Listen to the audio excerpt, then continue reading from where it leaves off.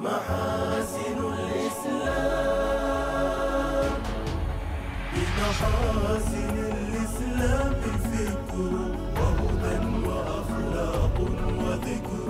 قيم بها نرقى سماء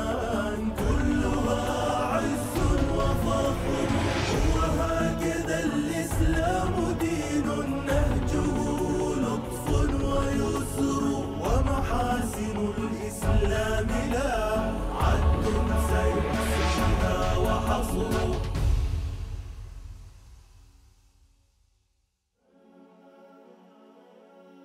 الله الرحمن الرحيم. الحمد لله رب العالمين الصلاة والسلام على سيدنا محمد وعلى آله وصحبه أجمعين. أما بعد فأهلا وسهلا ومرحبا بكم جميعا أيها الإخوة والأخوات في برنامج محاسن الإسلام. لقد ظل الإنسان يبحث جهده وطاقته عن مصدر السعادة الذي يجعل حياته طيبة بعيدة عما يكدرها من أزمات نفسية أو مشكلات أسرية أو نكبات اقتصادية. يتجرع غصاصتها الإنسان المعاصر كل يوم وليلة. وبينما يتيه العالم في بحور مظلمة متراكمة يعيش المؤمن حياة ملؤها السعادة والاطمئنان. بسبب اتباعه من هو أعلم بمصلحته ومصدر سعادته خالق السماوات والأرض. إنه الله القائل ألا يعلم من خلق وهو اللطيف الخبير. لقد أنزل الله هذا الدين ليخرج الإنسان من حلكة الظلمات التي هو قابع فيها بسبب ضعفه وجهله إلى النور الشامل لكل جانب من جوانب الحياة. يقول الحق سبحانه الله ولي الذين آمنوا يخرجهم من الظلمات إلى النور. فما إن اتبع الناس هذا الدين حتى تغيرت معالم الحياة في هذا الكون كله من السيء إلى الحسن ومن الضلال إلى الهدى.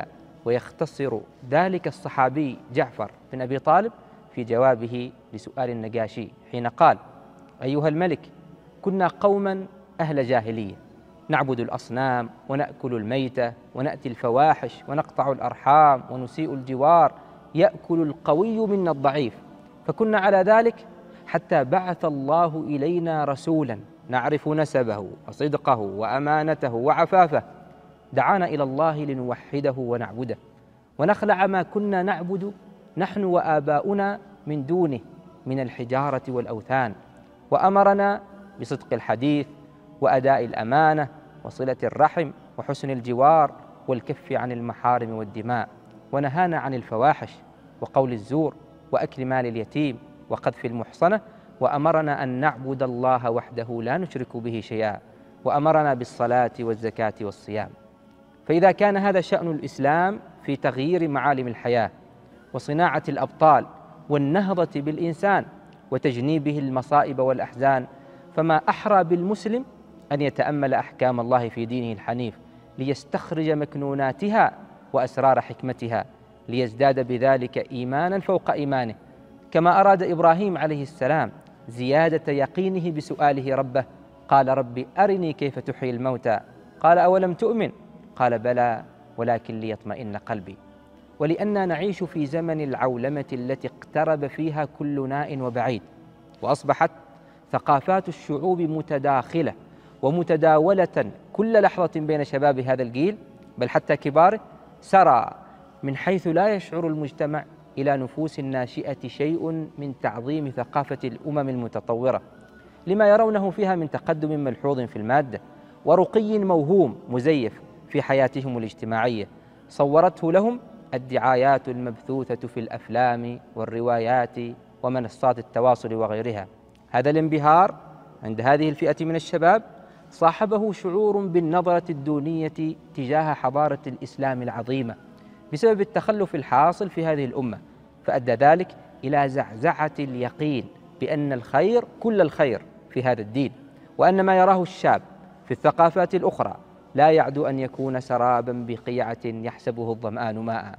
وفي سبيل وقاية الناشئة من الارتماء في هوية الآخر فإن اخصر طريق إلى ذلك تربيتهم على العقيدة النقية وتبصيرهم بمحاسن هذا الدين وجمالياته التي تشمل جميع جوانب الحياة.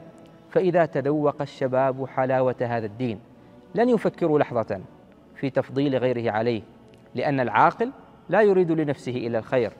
هنا نكون قد وصلنا إلى ختام حلقتنا لهذا اليوم ولكم أجزل الشكر لمتابعتكم الطيبة ونلقاكم في لقاء آخر بحول الله. والسلام عليكم ورحمة الله وبركاته. بمحاسن الإسلام وهدى وأخلاق وذكر بها نرقى سماء